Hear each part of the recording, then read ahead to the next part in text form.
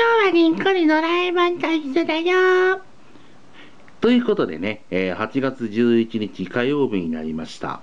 えー区民祭りの思い出、えーこの前ですね、えー第18回のですね、東野川区民祭りの、まあ、一部をですね、振り返ったんですけれども、まあ、その第2弾ということで、え振り返っていきたいと思います。まず1枚目はこちらになるんですけれども、えーとある団体がですね、えー区民パレードでですね、えー行進している様子なんですけれども、えこの前もいつかご紹介したんですけれども、まあ、その当時のですね、区民パレードはいわゆる菅原方面から方針方面へ、まあ、いわゆる U ターンする形でですね、まあ、向かって言えばですね、時計回りという感じでですね、えパレードをしていたんですけれども、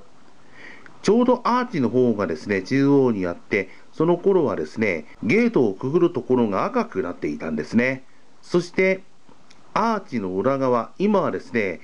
えーリサイクルショップなどがですね、あるところなんですけれども、その時はですね、何もですね、今、建設中の状態だったんですね。まあ、そのあたり、あとはですね、えー近く淀川ビルがあってですね、マンションがあるんですが、そちらはですね、今も建て続けているということなんですね。そしてもう1枚がこちらになります。ちょうどですね、えー折り返ししてからですね、方針方面へと向かってくる、これがまあ板の連合のですね、当時のですね、パレード写真なんですけれども、まあ、私の地元になるんですけれどもね、今はですね、おみこしの方は獅子になってるんですけれども、その当時は身を尽くしを描いた船のようなみこしだったんですね。そのパレードコースの周りもですね、その左側の方ですね、拳のマークがあるんですけれども、この辺りもはっきりと見えていて、ちょうど右手の方に、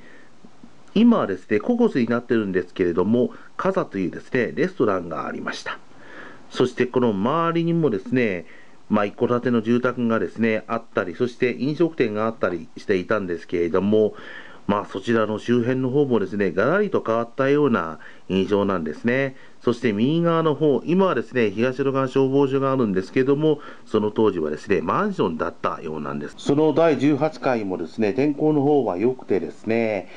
今のですね、ようなですね、暑さではなくて、ほぼほぼですね、まあ、夏のような感じるですね、暑さでちょうどいいほどだったんですけれども、まあ、ここ近年になってからですね、え地球温暖化の影響が入ってきてですね、その影響もあってか、まあ、35度を超えるのもですね、当たり前のような雰囲気になってきましたね。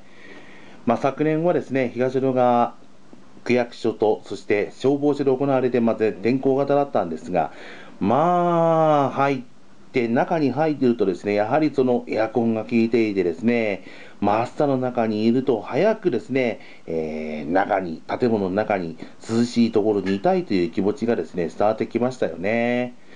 まあ、今回はですね、18回目の区民祭り、まあ、2度目になるんですけれども、振り返っていたんですけれども、えーまだまだですね、その区民祭りのですね、撮った写真、たくさんありますので、またドラえもんと一緒に振り返りたいと思います。それでは、8月11日の区民祭りの思い出、YouTube はこの辺りで終わりにしたいと思います。またね。